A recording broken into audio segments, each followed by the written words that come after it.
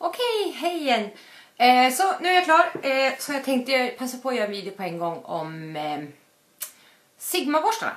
Eh, jag går igenom, eh, eh, ja, jag tar dem som de kommer. Jag tror att jag har lyckats få med mig allihopa. Eh, men i alla fall så börjar jag med, det här är de som var med i det här kittet. Och eh, Sigma eh, F30 Large Powder, den säger sig själv, det är en puderborste. Den här är superhärlig, mjuk och skön och superhärlig att jobba med. Sen kommer eh, F40 Large Angled Contour. Den säger också lite sig själv, du kan ha den till kontur. Eh, men eh, jag tycker den är fantastisk, fantastisk som rougeborste också. Yes. Sen var det då med en sån här F60 Foundation Brush. Den klassiska foundationborsten. Eh, jag använder inte dem så mycket idag just för att jag ja, använda andra. Men det är i alla fall den klassiska foundationborsten. Den här är också jättebra att använda. Om du inte gillar att använda den till foundation så kan du ta den här och eh, använda till ditt puder som du fixerar under ögonen och runt näsan och så. Yes. Sen var då den här lilla godingen med. Duo Fiber F50. Den ser ut så här. Det här kommer lite det här vad är vad och eh, varför. Den här är med i kittet. Sen beställde jag utöver kittet, eh, det här är nog deras mest kända och hypade, omtalade borste. Och det är Sigma F80 eh, Flat Kabuki. Och den ser ut så här. Båda de här två använder jag till min foundation. Skillnaden på de här två är att med den här så kan du buffa in produkten. Den här funkar utmärkt till flytande foundation, till puderfoundation, till mineralfoundation. Ja, men som sagt, den här ger täckande resultat. Eh, den här, eh, när du vill ha täckande resultat med din foundation eller puder eller vad den är så använder du en sån här. Eh, du tar produkt och buffar in i huden. Eh, mer än stryker runt liksom. Buffar in och sen kan du börja jobba in den. Som sagt, det är ett väldigt täckande resultat. Den här använder jag eh, inte till något puder. Eh, den här är bara för kräm och flytande skulle jag vilja påstå.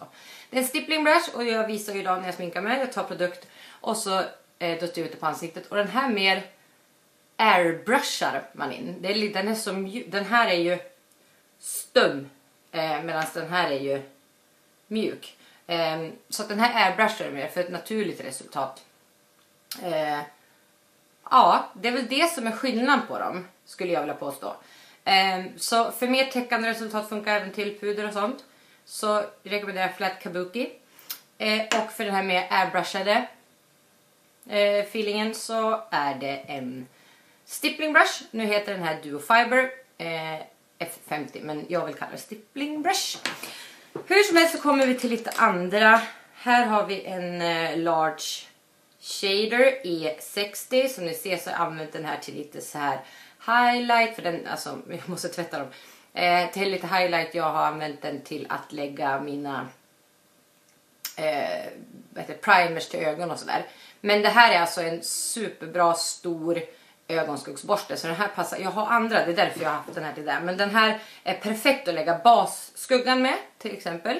Eh, den är också jättehärlig att lägga till exempel krämskuggor eller när du har lagt en, en look och så vill du kanske gå på med och highlighta liksom, alltså när du vill trycka dit en skugga mer.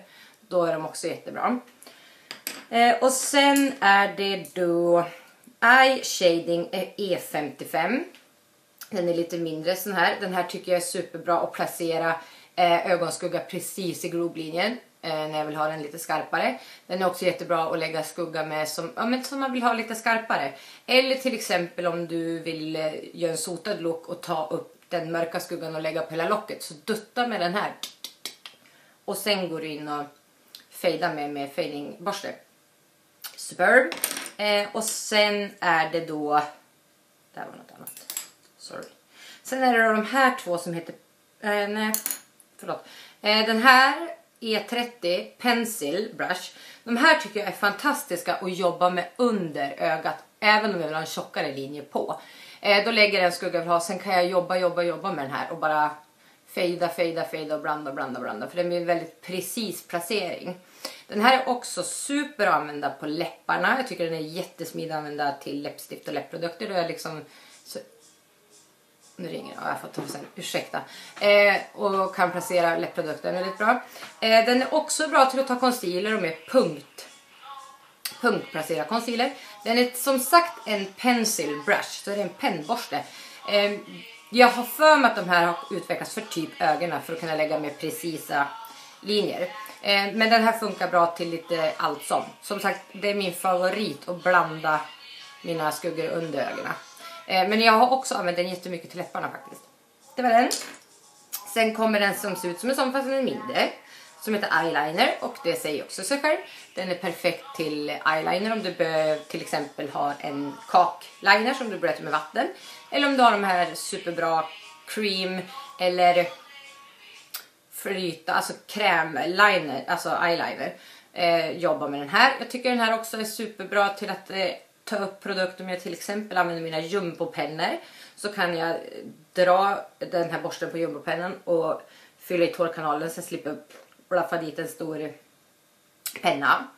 Yes, sen kommer vi till eh, eh, e, F, F70.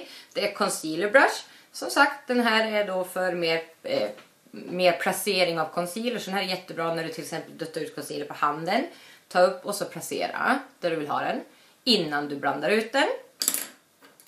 Jag använder ju då Tappered Blending E40. Den här är också jätte, jättebra att använda i globlinjen. Alltså alla skuggor som du behöver eh, när du vill liksom, vad heter det, blanda dem så är den här sjukt bra. Nu har jag andra också så jag använder den här till min concealer. Eh, och då liksom lägger jag ut concealern där jag vill ha den och sen jobbar med den här. Och det blir lite, lite samma känsla som en sån här, det blir lite mer airbrushed feeling. Eh, och den är jättehärlig att jobba med concealer men den är också fantastisk att jobba med på ögat. Eh, jag kan ha den för att till exempel lägga en mer precis kontur. Nu är det tydligen viktigt men jag är snart klar. Så, ja det var den. Och sen favoritborsten till ögonen är faktiskt Medium Angled Shading E70. Den ser ut så lite snedställd, supermjuk att jobba med. Den är supersmidig att jobba in skuggor med och så sen kan du vända den och vrida den. För mer precis applicering, så fejda med den åt det hållet. För en mer fejdad, större yta, ställ den upp och så fejdar du så. Superlätt i och med att den är så här att komma in även i ögonvrån med skuggor. Sist men inte minst är ju då Small Angle E65. Eh, min nya absoluta favorit till bryn för att den är så pass, nu har inte jag någon att jämföra med, men den är så liten och smidig. Så den är superlätt att lägga och buffa upp färg och fransarna. Jag lägger en rand, eller rand, ja en kant, skarp kant. Och vilka ljudeffekter jag har börjat med Ska sluta med det. Eh, skarpt, så och ner, så. Eh, och sen kan jag liksom pressa upp produkt i och samtidigt ehm, eh, putta mina bryn uppåt som jag vill ha dem. Så fortsätter jag så. Och så sen är det superlätt att bara vända på så för att få en skarp linje här om man vill det. För den är så pass liten, annars kan, annars kan det bli liksom så här brett fram. Den är supersmidig att använda. Jag använder den som sagt eh, till mina bryn. Eh, nu vet jag inte vad som hände. Ja, eh, men den är också jättebra att använda under ögat eller till exempel eh, de är super också att använda till kajal, nej, eh, eyeliner då du kan liksom använda eh, den här delen till att verkligen lägga din vinge om du vill ha en vinge. Så och jobba. Jag kommer att visa någon, i någon video hur jag använder borstarna men det är det de är till för jag tror den största frågan där ute har varit What, vem, vilken av de här ska jag ha och varför? Alltså flat kabuki och stippling. Det är eh, beroende på vilket resultat du vill ha. Använder du puder foundation, mineralfoundation och sånt mest så är det den här du ska ha, flat kabuki. Den tycker jag man ska ha i alla fall. Det är för täckande resultat. Du mer buffar in produkten. Och för ett mer airbrushat naturligt resultat till flytande foundations och grejer. BB creams och CC creams och everything. Så är det den här. Juhu. Det är skillnaden. Är det något ni funderar på